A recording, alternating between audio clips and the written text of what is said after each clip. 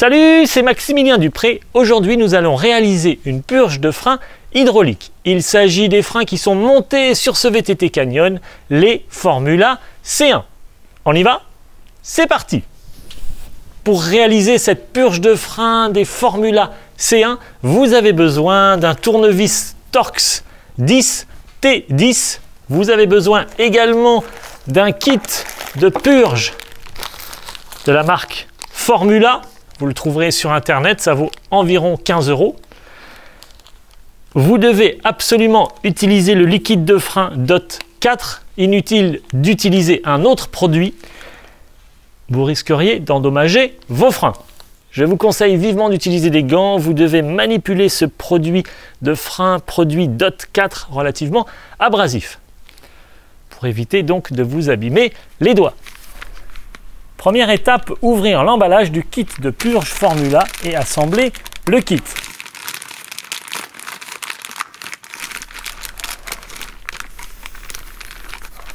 Sortez les seringues du sachet, vous trouverez également dans ce sachet le livret avec la procédure à suivre pour réaliser la purge de vos freins. Sortez les deux seringues, puis les embouts métalliques à visser. Tout d'abord, insérez les embouts métalliques dorés les deux tuyaux transparents. Puis insérez les tuyaux au bout des seringues. Il faut bien les enfoncer pour que l'ensemble soit bien étanche.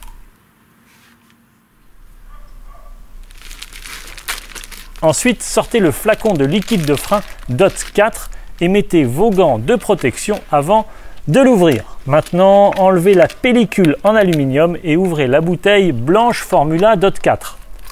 Vous allez remplir vos seringues de liquide de frein. Mettez le tuyau de la première seringue dans le liquide et aspirez en tirant sur le tube de la seringue. Faites la même chose avec la seconde seringue vous devez mettre plus de liquide dans une des deux seringues, celle que vous fixerez sur l'étrier de frein. Petite précaution, n'oubliez pas de refermer votre flacon de liquide Formula. Voyons maintenant comment connecter les seringues à l'étrier et au levier de frein. Pour commencer, vous devez enlever votre poignet ou grippe du côté gauche sur le guidon. Puis, si vous avez un blocage de fourche comme moi, il faut le sortir également.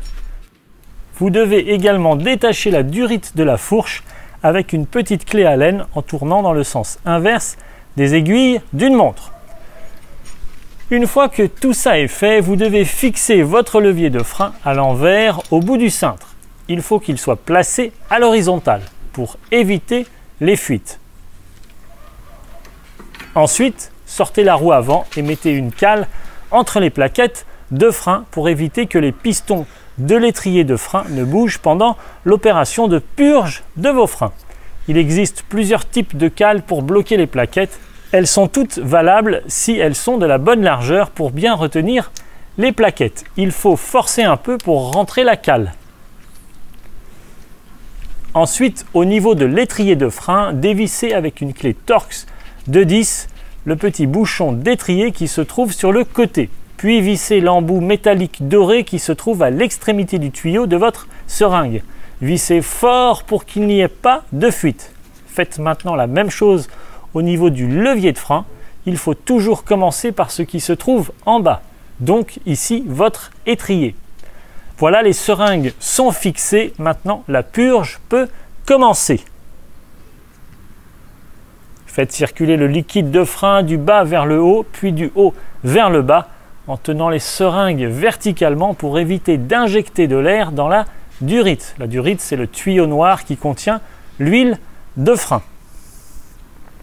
Une fois que cette opération a été réalisée plusieurs fois, vous pouvez retirer la seringue du bas au niveau de l'étrier, puis remettre le bouchon de l'étrier. Vissez fort pour qu'il n'y ait aucune fuite.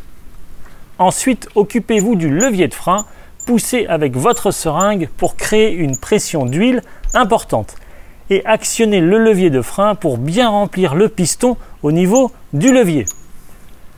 Une fois l'opération terminée, revissez votre seringue et revissez également rapidement le bouchon du levier de frein. Serrez fort encore une fois pour éviter les fuites. Voilà, La purge de vos freins Formula C1 est terminée. Il faut maintenant remonter tous les éléments sur votre guidon, levier de frein, shifter, commande de blocage, de fourche et poignée grip. N'oubliez pas de refixer également la durite au niveau de la fourche de votre vélo. Remettez votre roue avant en place et faites le test.